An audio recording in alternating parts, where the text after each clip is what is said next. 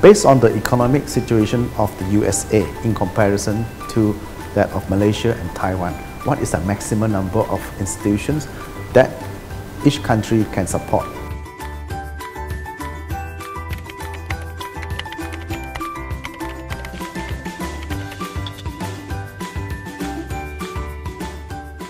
We can again use proportional comparison. That is dividing the per capita GDP of either Malaysia or Taiwan with that of the US and multiply the number with 4726. That is the number of colleges and universities in the USA.